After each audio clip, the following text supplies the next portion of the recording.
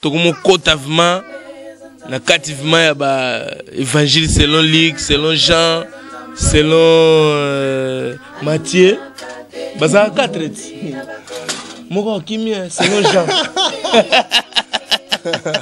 selon jean mais sikoyo lelo tolobi teke eza évangile selon blaise manzambi mais aza na inspiration aza kosolola mama nzambe en tout cas ndenge toyebisaki bino tozokota 2009 mais tokota 2009 ovement na motema ya nzambe na esprit ya nzambe à suivre zwanga bien na remarke ke na congo bato baosambela trop so oleki vrima de lupango osentir ke troisième église so eza église te eza permanence opusani susu donc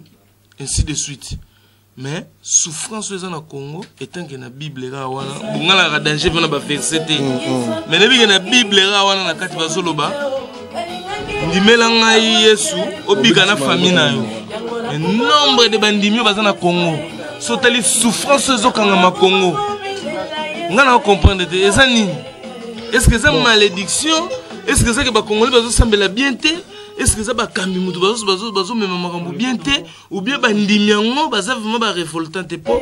na egypte ntango moïse abimisaki bana ya israele vraiment na egypte batelemela ye na desert ah. ke yo ndenge nini kote wana kutu tozalaki bawumbu me toza kodame toza kovivre koma yo omemi biso kote oyo epuis tozokoma te epuis fo togaleraka susu moïse ayebisa bango botikala na grand prêtre aaron akevima montagne ntango akenda kosambela balobaki damage ekweya na likolo damage ezokweya osanti ke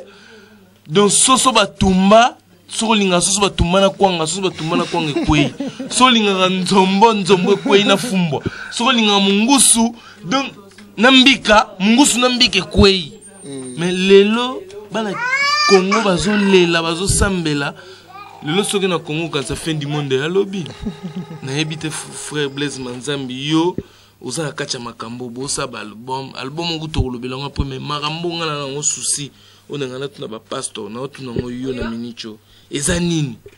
euh, merci mpona motuna nde nabengaka kua eza faute de connaissance kozanga koyeba eza liwa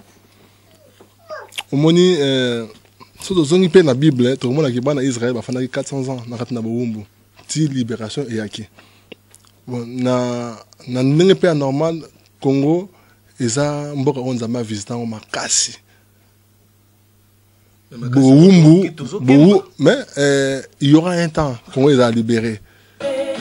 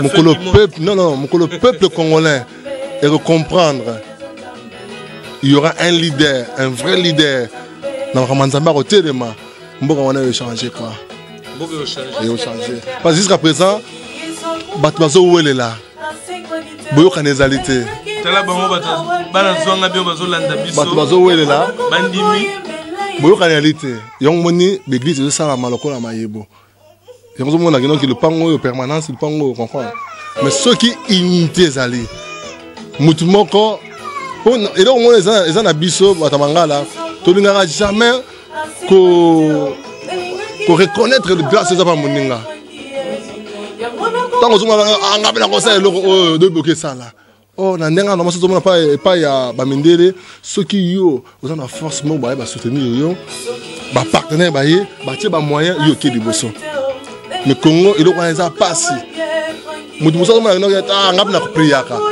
ngai mpe nabikisaka bato o oh,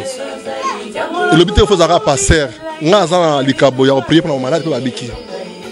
partout natambola naleka na bacampagne bato babika bato bayamba yesu yesu asalaka nzela na ngai mais bato mpe bayaka mpe bayebisaka yo oza apotre mosusu bayebi babino yo ozali prophète mosusu bayebi yo ozali paster faut otonga église mais ezalaki sentiment ya bato ngai nzambe ayebisi ngai ti natonga église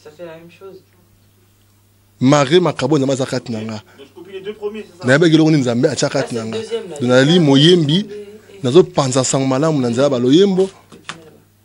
nazoluka bajeune oyo baza na grâce na nzambe nazwi natie bamoyen natindiki bake liboso Eh, nazo nazo se rappeler quand na kenda Angola nga mpe nazalaki moyembi me na kenda na tia ba moyen mpo na frère mbuta aya poto na manager ti abeta mpe ba zénith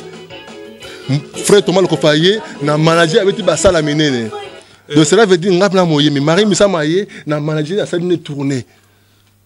cela veut dire bandeko mosusu mpe baboyaki ndenge nini yo oza grand prêtre eh? oyo eza na nsima ya marie misambo nazongi na bible ebisengaki noke yesu asokoli bayeko nde makolo pierre alobi no nkolo nga kosokola makolo te mpo yo oza grand prêtre yesu alobi so nasokoli makolo te oza part na ngai te alors petro alobi no si c'est comme ça sokolanga mpe na motu na na, na, na, na, na maboko parce que mpo na ye yaki impossible grand maître grand prêtre asokola ye makolo mais yesu ayebisi ye boye ko alobi no bosalaka entre bino lolenge ngai nazali kosala kwa de bosokolaka bamakolo entre vous alobi le plus grand azali moto oyo aza koservir moto oyo alukaka elevation baninga ye wana azali grand maître ye azali grand prêtre moto alingaka bato bakweya aza grand prêtre te voilà pourquoi je dirais aujourd'hui que oza élevé pourquoi oza élevé parce que na tali na émission no ebele nde ozotambola yango oza élevé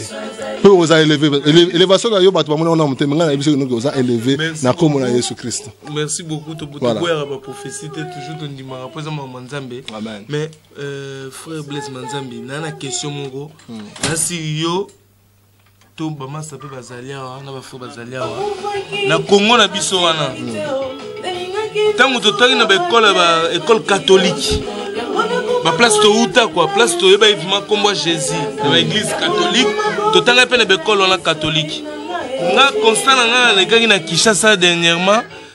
na remarke ke baekole wana na tanga mm. ya ekole katolike wana neti nakopesa exemple natanga na sainte marie mm. na ekole ya sainte marie oyo euh, notre dame kua eglise oyo abenga notre dame batima ya ekole wana namoni yango toujours eza kaka debout ndenge ngai natangaki ndenge mpe nange namoni yango kaka yango wana kaka mais bana eleki tellement ebele nakoloba age te mpo bakoya korepere age na ngai na tele nazobomba age mais ekolo wana eza kaka mais lelo oyo bato oyo bayaki neti badetrone masolo ya bakatolike mpo mm. jésus tobanda koyebe nao na katolike mm. etanke mwana nzambe après tokomoi ba jésus tanke nzambe mm. na bamasolo ya lelo mais eloko moko na remarkaki baekolo oyo bandimi ya lelo oyo bazotonga mpo bango bazwi relève wana eh, mission lelo eza na maboko na bango mais baekolo bazotonga eza bakalite moko pourri et pourtant bazwi bambongo mabonza so totali bakar bazotambola nango bakalite ya danger bandako bazofanda ya kalite bien mais place oyo eza ke fo batangisa bana bien sûr batangisa bible te mais batangisa savoir ondire bao néglige yango eza na bakalite moko bien te na comprendre motuna na yo nazoyeba te pourquoi basala semblant oubien vraiment oke no mosika te ko nazongi ngai na bino eza faute ya connaissance bato bayebi bible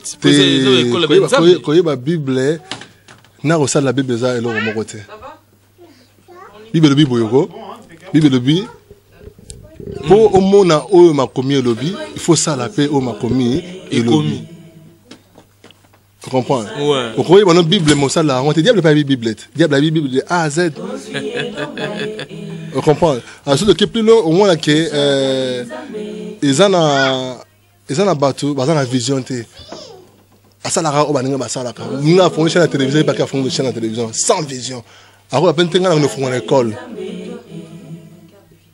comprendre mais soki mpe kolongo soki kolongo eza bien minerval ya cher nani passe mon émission moko na kinshasa en tout cas euh, na félicité courage na ye azo reconnaître euh, musicien moko ya ya ngambo eh, nde tolobaka musicien moko ya, ya congo kuna kino mareke aza euh,